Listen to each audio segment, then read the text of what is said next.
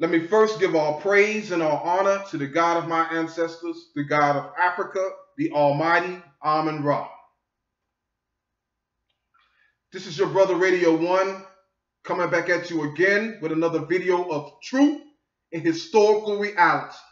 Now, the name of this video is Neptune's Lagoon is a lying racist pseudo scholar. Yes, that says it all about Neptune's Lagoon. Now, Neptune's Lagoon is a low-life racist who sits behind his computer because he's not man enough to sit in front of his computer and show his face. But he sits behind his computer talking garbage and teaching pseudo-history all day. Now, I was not going to waste any time on this individual, but because he is a joke and he is not to be taken seriously. But since he attacked me and since he needs to be exposed for the liar that he is, I'm going to do this video. I'm going to speak my mind. Yes, I'm going to break my silence and speak my mind on this low-life racist individual. So Neptune's Lagoon, he is a sore loser. Yes, not only is he a liar, but he is a low, a racist and a loser. He made over 1,000 videos full of nothing but pseudo history and only has 3,000 subscribers. Okay? Now, if I did a thousand videos, you better believe that I will have probably over 100,000 subscribers by now. And all of those videos will be filled with truth and facts. But this individual it is something very wrong with him. Yes. He sits behind his computer. He probably lives with his mom. Okay, he's probably a sex offender who's on house arrest. And the bad, the to make things worse, he is a extreme racist. Yes, he is extremely racist. But to make it even worse, sir, he has an obsession with black Africa. Yes. It is something wrong with this individual.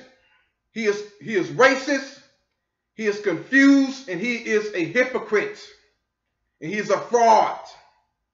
He is dishonest. He, do, he doesn't have it in him to tell the truth. It is something very wrong with this individual. No wonder he, he doesn't show his face because it will be the face of shame. It will be the face of deceit. It will be the face of the worst of the worst. Yes, this is the worst of the worst type of individual.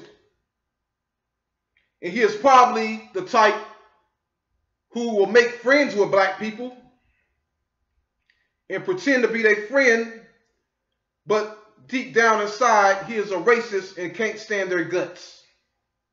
Yes, that's the type of individual this person is. And he teaches pseudo history. See, only an idiot will believe what Neptune's Lagoon is teaching. If you are smart, if you have your head on straight, and you listen, you will know that this individual teaches nothing but fake pseudo history. He is a liar of liars. And I was watching one of his videos about the white Ethiopians, okay, which who were known in history as Leuco-Ethiopians, because we know the original Ethiopians were black, but they were mentioned by this Roman historian called Pliny the Elder, who he says the original Ethiopians are black. But he mentions white Ethiopians, just another word for light-skinned Ethiopians. Okay, because the Ethiopians are already black. If he calls them Leuco-Ethiopians or white Ethiopians, it means light-skinned Ethiopians. But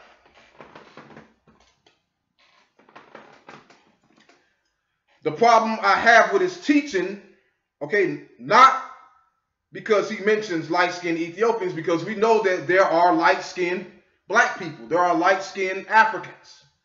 So white Ethiopians, just another word for light-skinned Ethiopians. Okay, the original Ethiopians are black Ethiopians. They're called black.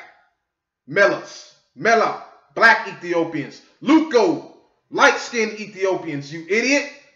Yes, Neptune's Lagoon, you low-life, psychopathic, racist idiot who claim that you've been learning history for over 35 years. Well, you wasted 35 years of your life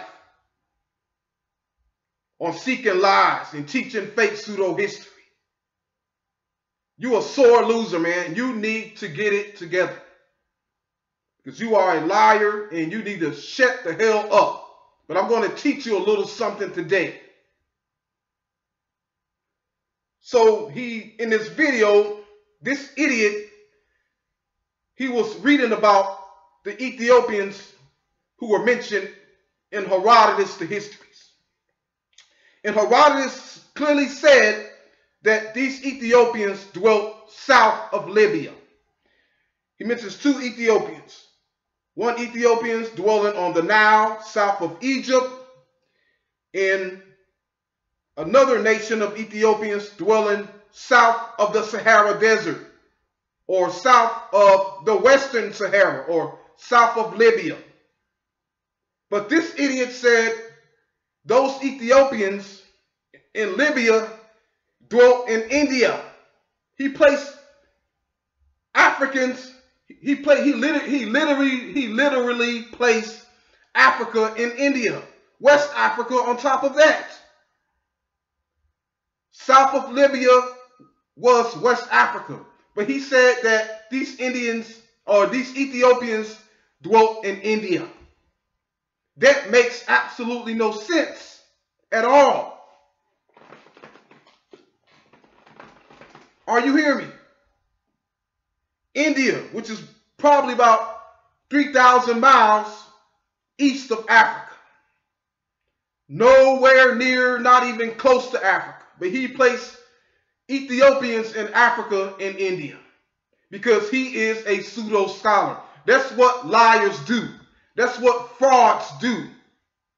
They twist real history and distort it to make it fit their own fake pseudo interpretation.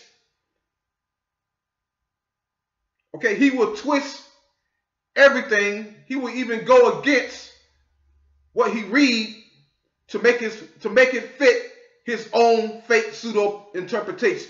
Who in the hell do you think you are, you low life, no good, racist cracker?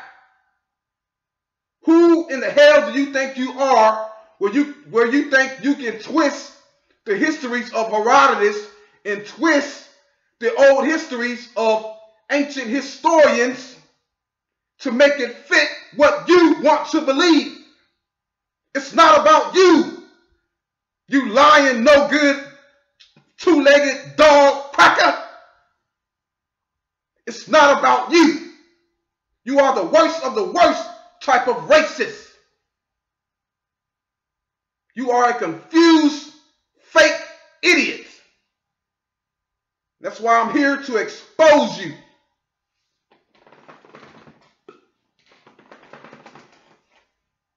It is idiots like this who make people believe that they are something they're not.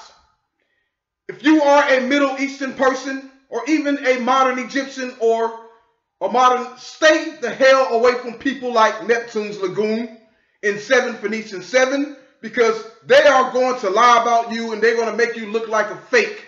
And they're, they're going to make you something that you are not. Embrace your true ancestors and stop listening to fake phony and fraudulent pseudo scholars like this. He is the worst of the worst. Okay? Maybe he is senile. He's just a senile, um, a, a senile, no good, racist ass old cracker. But something is wrong with him. You have no business. The histories of Herodotus is 2,005 years, 2,500 years old. 2,500 years older than you. You should respect the ancients. Okay, and we can go back further than that. The hieroglyphs, the hieroglyphics left on the walls of the ancient Egyptians showing what they look like. And who in the hell are you to give your interpretation of what you wanted to be? The hell with you, Neptune's Lagoon. You are nobody. What you say does not count. The histories of Herodotus and the images of the ancient Egyptians speak for itself, not what you want it to be. You old racist lying cracker. People like you, I can't stand your guts. You make me sick. You're probably 60, 70 something years old. You've been on this earth for all that time. You still haven't got it together. You're still a lying racist cracker. Pitiful, sad, delusional, rotten and no good. God. People like this try to make my job hard. They try to expose the truth tellers like myself. Yes. People like me who tell the truth, who keep it 100% honest, teaching my people. And you have an idiot like this trying to make me out of the liar. Yes, idiot like this turned idiot like this, idiots like this turns the good guy into the bad guy. He turns the honest man into the liar. Okay? And everything he teaches, it holds no weight. You're wasting your time, Neptune's Lagoon. I've been there and done that. Okay, I used to read about DNA studies and all that. It's all garbage. All of your history is 18th century and 19th century AD. It has no ancient foundation. No ancient sources support it. I would rather read Herodotus, the histories all day. If, if, if, if that was the only source I had, I will read that all day and only that before I read the fake, late, pseudo history garbage that you teach. You made over 1,000 videos teaching nothing but lies, going against the truth in every last video. You are the fakest of fake. First, you will say that the ancient Egyptians were Negroes. I mean, the ancient Egyptians were Caucasians and they were not Negroes like the Nubians. And then you will turn around and say that the Nubians and the Cushites were Caucasians. Make up your mind, you silly cracker. God. This individual is pathetic. You are a pathetic individual. And I challenged you to a debate once, and you cowered out. Just like your buddy Seven Phoenician Seven, which I will later speak on. Yes. Who tried to make a video saying that I cowered out of debate, but when you watch the video, I was the one who, who made the challenge for the debate, and Seven Phoenician Seven was the one who really cowered out of the debate. And I will make a video on that, talking on that later. Yes.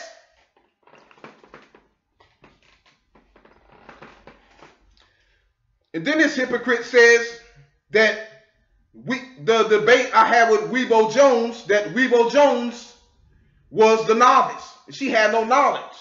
But yet, according to this idiot, she won the debate. So how could the one who has no knowledge, the one who is inferior in knowledge, win the debate, you fool? But truth is, I know I won that debate. I dominated that debate. because I was the only one on the panel. I was up against, yeah, I was up against three dummies. Okay, Weibo Jones, Andy Warski, and JF. I was the only one who was speaking the facts, and I was the only one who had the superior knowledge through the whole debate. So yes, I dominated the debate. That's like saying that a person goes on a game show and he has all the knowledge and he's scoring all the points, but he still loses the show. Nah, it don't work like that. If you have all the knowledge and you speak in the most facts, you win the debate.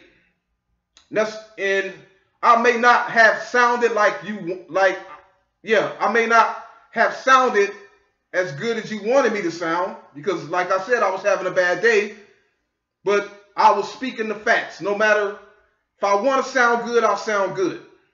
Okay, but if I'm having a bad day, I'm having a bad day. But no matter how I sound, I'm still going to speak the truth and speak the facts no matter what. And as long as I do that, I will always win the debate. But enough of that. Yeah, so I'm going to close this out real soon. But it is something very wrong with this individual. Okay?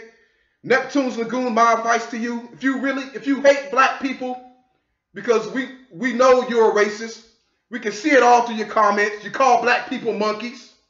Yes. You call people in Africa savages. If you was to show your face and talk that to Africans, they will whoop your behind. They will whip your lily white ass. You no good racist loser. Yes. And that's why you hide your face like a coward. Because you know you're a racist and you know you teach pseudo history. So my advice to you, if you hate black people that much, then stay away from Africa. Leave African history alone. Okay? We don't care what your geneticists say about what, what, what race the ancient Egyptians were. Okay? Because it's all lies. And it's all pseudo history. The hell with your geneticists. Okay? You keep the genetics. We take the history. So if you really hate Africans that much, leave Africa alone. Stop talking about Africa. It is something very wrong with you. We do not want you. You are not invited on the territories or on the grounds of Africa. We forbid you to speak on ancient Egypt and ancient Kush. Okay? We do not want a racist, a lying racist, no good fraud like you speaking on Africa. And if we ever see you in person coming into our establishment, yes, we will kick you the hell out. You're not invited. You are a fake and you are the worst of the worst type of racist. At least a, a real white supremacist, if there's ever one, because I don't believe. I believe all these white races are fake and pseudo and have a, a deep obsession with black people. But a real white racist will teach only on European history. He wouldn't have nothing to do with Africa. But you're fake white racist.